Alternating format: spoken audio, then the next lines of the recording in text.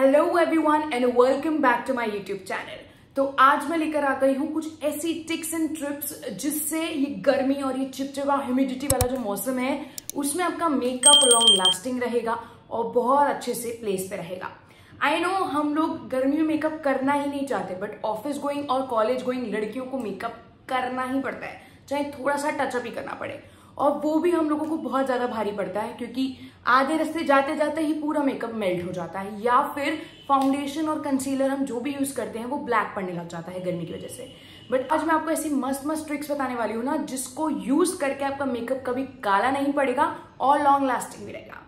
ये tips and tricks जानने के लिए वीडियो एकदम एंड तक देखना and without wasting time just get started tip number one market में बहुत सारे टाइप के प्राइमर आते हैं, ऐसे ऐसे और ऐसे। बट ये सबको आपको समझ में हटा देना है। आपको यूज़ करना है एक जेल बेस्ड प्राइमर। सबसे पहली बात तो मेकअप करने से पहले अगर आप मेरी बात माने ना तो सबसे पहले एक आइस क्यूब को बहुत ही अच्छे से अपने फेस पे लगा लीजिए।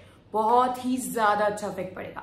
आइस क्यूब लगाने के बाद आपको यूज़ करना है एक जेल बेस्ड प्राइमर। अब चाहे आप कंसीलर लगा रहे हो फाउंडेशन लगा रहे हो या बीबी क्रीम लगा रहे हो, सबके नीचे एक प्राइमर लगाना बहुत ज़्यादा इंपॉर्टेंट है, क्योंकि प्राइमर जो है वो एक मेकअप को बेस देता है। उसके ऊपर जो मेकअप होता है ना, वो बहुत अच्छा लॉन्ग लास्टिंग टिकता है। तो इसके लिए सबसे पहले गर्मियों में आपको यूज़ करना है एक जेल बेस्ड प्राइमर और जेल बेस्ड प्राइमर बहुत सारे मार्केट में, मुझे करेंटली इनसाइड का और कलर बार का जेल प्राइमर बहुत ज़्यादा पसंद है, क्योंकि ये मेकअप को काफ़ी ज़्यादा लॉन्ग लास्टिंग बना देता है। मेरी सेकेंड टिप है ना is to ditch your foundation with BB cream और कंसीलर अगर आपको कोई ज़्यादा कवरेज की ज़रूरत नहीं है तो आप फाउंडेशन को हटा दीजिए और कंसीलर को लगाइए। सिर्फ़ जो आपके डार्क एरियाज़ है, वहाँ पे कंसीलर लगाइए या फिर यूज़ अ बीबी क्रीम क्योंकि ये लाइट वेट फॉर्मूला होता है और आपके फेस पे ज़्यादा आपको हेवीनेस भी फील नहीं होगी प्लस ये लॉन्ग लास्टिंग रहेंगे।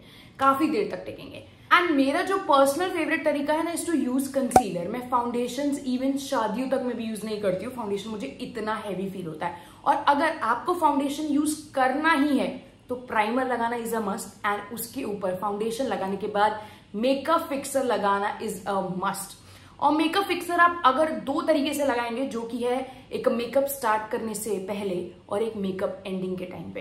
तो आपका जो मेकअप है ना, वो बहुत ज़्यादा लॉन्ग लास्टिंग हो जाएगा। एंड माई फेवरेट तरीका is to use concealer only on my dark areas जो मेरे डार्क सर्कल्स हैं, या फिर जो डार्क एरिया है अराउंड माई माउथ वहाँ पे कंसीलर यूज़ करना इज़ द बेस्ट क्योंकि काफ़ी ज़्यादा लाइट है, काफ़ी ज़्यादा लॉन्ग लास्टिंग रहता है। अगर मैं इसे अच्छे से सेट कर लूँ, कोई भी प्रॉब्लम नहीं आती। लास्ट टिप जो कि बहुत ज़्यादा इंपॉर्टेंट है, इसको प्लीज़ स्किप मत करना इज़ यूजिंग अ सनस्क्रीन अब सनस्क्रीन वो क्रीम फॉर्मूला में हो सकता है लोशन फॉर्मूला में हो सकता है, या फिर एक कॉम्पैक्ट के फॉर्मूला में हो सकता है। मुझे ये कॉम्पैक्ट सनस्क्रीन यूज़ करना बहुत ज़्यादा पसंद है। एक तो ये आपका ऑयल अब्सॉर्ब कर लेता है, काफ़ी ज़्यादा लॉन्ग लास्टिंग है। इसको आपको रीअप्लाई तो करना पड़ता है ऑब्वियसली हर सनस्क्रीन की तरह। बट इससे क्या होता है, आपको ग्रीसीनेस फेस पे नहीं आती। जिन लोगों की स्किन मेरी जैसी है अल्ट्रा ऑयली उन लोगों के लिए सनस्क्रीन बेस्ट है कि वो एक कॉम्पैक्ट फॉर्म में यूज़ करें।